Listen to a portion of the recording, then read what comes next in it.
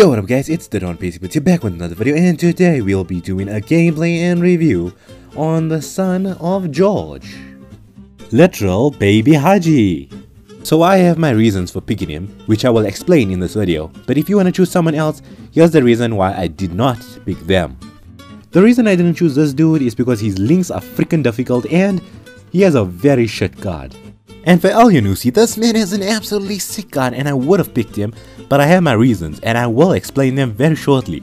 This man is a really good card and if you want to choose him, choose him, but the reason I did not choose him is because I already have an amazing left mid slash left wing from the Scottish Premiership, and that is Ryan Kent. So, without further ado, let's get into the video.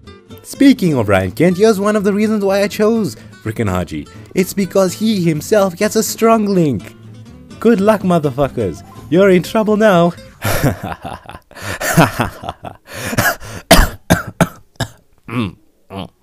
Gotta clear my throat. Uh, let's get to the gameplay. It's gameplay time! Okay, it's taken quite some time to get a goal in this game, but finally we managed to pull one off here with a beautiful drag back and a first time shot there and it's gone in. That shocked me. That actually shocked me. There we go. There's the two Rangers boys. And Fred. So that was actually a pretty decent goal for a guy with 83 finishing if you think about it. Look at this. I basically just dragged back and I just took the shot and it somehow just went in. Not bad for a guy who has 83 finishing I think. Not bad. And we're nearing the end of the game and we finally get another goal with Hagi. I mean the guy's speed is amazing and balance surprisingly for 80 balance is pretty good. The dribbling is not even bad. dribbling is amazing. The balance doesn't really affect it that much. It's actually, he's actually really good. I'm actually enjoying this card. Like, it's very good and as you can see, this guy is about to quit and we may have to go into another game because there's very little highlights. It's basically two goals. So, I mean, let's just get into the next game, guys. Let's go. Is this guy gonna quit? Are you gonna quit? There we go. Let's get to the next game. And here we go with the second game, and here we go with Hagi again. The man is so slick. I mean, the dribbling, the speed, it all just goes well together. I tried a long shot here to see what happened, and well, the goalkeeper saved it. Now, this is one of my favorite moments while using the card. This was amazing. I'm basically walking through this guy's defense, and I scored. This card feels so slick. I mean, the guy has 80 balance on his card. He has 80 balance, but he, he feels so good. I don't know why. He just feels. Maybe it's the ball control. Maybe the ball controls are really good. I mean, this guy is really amazing. You should choose him. But for those of you who do not have Kent, I suggest pick, uh, picking Elyounoussi because he's like a good alternative for Ryan Kent.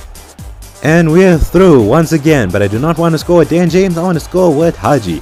And the man bangs it top bends. this card is way too fun. Honestly, this card is really, really fun. I'm really enjoying Okay, well then, I guess the gameplay's over.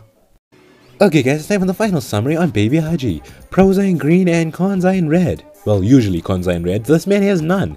Now, I would say Links would be one of his cons, but that's unfair to him. Like, no one's really to be putting him into their team. Maybe some people will put him with Kent like I just did. But otherwise, you're to bring him on as a super sub. Now, let's get to his pros. Speed, dribbling, shooting. It's self-explanatory. Shooting, I'm surprised with. 83, 83 finishing, and you saw the goals he was freaking putting in for me. And that's on a basic chem style. I didn't put anything on him. That was on a basic chem style. 5-star skill moves really helps. Passing is amazing. Physical, physical. I looked at this guy and I was like, there's no way he's gonna push these defenders off. He's freaking pushing defenders and CDMs off the ball. I was actually surprised at that. He's actually pretty strong. Now the positions you can play him in, left mid, center mid, and center forward. He's actually pretty decent to play anywhere almost. And, well, except defender, don't blame there, come on, 45 defender, you can see that yourself. Now, I would do suggest putting engine chem style on him because maybe you want to increase his balance, maybe. So, yeah, therefore I've given him a 10 out of 10. He's actually a really good card, so if you want to get him, get him. Otherwise, get Elyounoussi, just don't pick the other guy.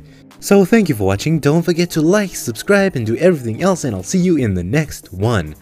Goodbye.